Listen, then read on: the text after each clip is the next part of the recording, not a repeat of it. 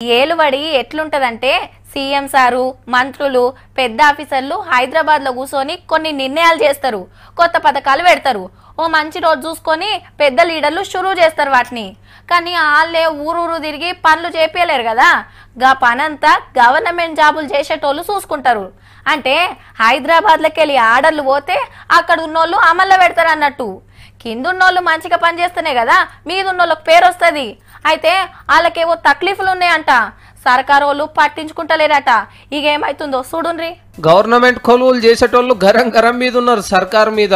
భూముల లెక్క పత్రాలు చూసే విఆర్ఓలను రద్దు చేస్తానే ప్రచారం నడుస్తుండే వరకు నాలుగైదు నెలల సంది అందరు ఒకటై కొట్టాటకు తయారవుతున్నారు.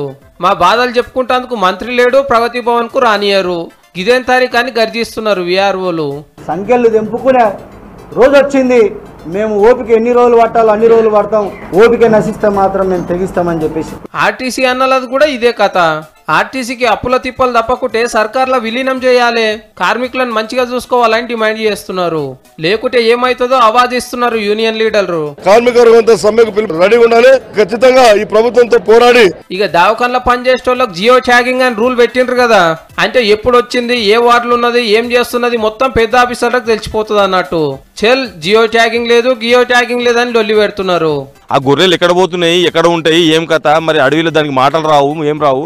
ఎక్కడ పోతున్నాయో తెలుసుకోవడానికి ఒక జియో ట్యాగింగ్ వ్యవస్థ అని చెప్పి వాటి చెవులకు ఒక ట్యాగ్ని వేయడం జరిగింది. ఇట్లాంటి సంస్కృతిని ఇలా ఉద్యోగులకు మరి కట్టబెడతామంటే చూస్తూ ఊరుకునే పరిస్థితుల్లో ఇలా ఉద్యోగులు లేరు. వీళ్ళే కాదు జీతాలు వేస్తలేరని కొందరు ప్రమోషన్లు ఇస్తలేరని కొందరు సర్కార్ ఆఫీసుల సవలతులు లేవని ఇంకొందరు. ఇట్లా గుస్సా అవుతున్నారు. కాకుంటే బయటకు వచ్చి మాట్లాడే ధైర్యం చేస్తలేరు. ఇక సర్పంచ్ల లడాయి చూస్తూనే ఉంటుంది అడిచారం మొలకలు చచ్చిపోతే పదవి పోతుందా సొంతంగా చెక్కుల మీద సంతకం పెట్టే పవర్ లేదా గివెన్ రూల్స్ అని ఉద్యమాలు చేస్తున్నారు సర్పంచ్ సాబులు. ఇప్పుడు అదే సీఎం గారు ఉన్నారు. ఏదో ప్రతిపక్ష పడుకు ఆల్రెడీ చెక్ పవర్స్ ఉంటే ఎట్లా ఉంటది? అందుకే సర్పంచ్ ఒకరికే ఉండాలి. మాకు నెలకు ముప్పై వేల జీతం కావాలని జెడ్పీటీసీలు కొట్లాడుతున్నారు. కానీ సర్కార్ పథకాలను అమలు చేయాల్సిన వాళ్ళకే కిన్ని సమస్యలు ఉంటాయి ఇక పనులు ఎట్లయితాయి?